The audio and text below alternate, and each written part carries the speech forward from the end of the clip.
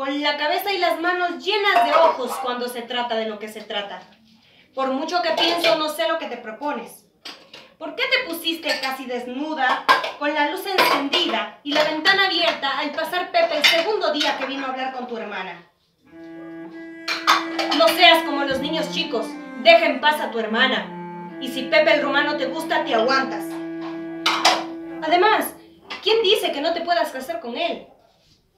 Tu hermana Angustia es una enferma. Esa no resistirá el primer parto. Es estrecha de cintura, vieja, y con mi conocimiento te digo que se morirá. Y Pepe hará lo que hacen todos los viudos de esta tierra. Se casará con la más joven, la más hermosa, y esa eres tú. Alimenta esa esperanza. Olvídalo. Lo que quieras, pero no vayas contra la ley de Dios.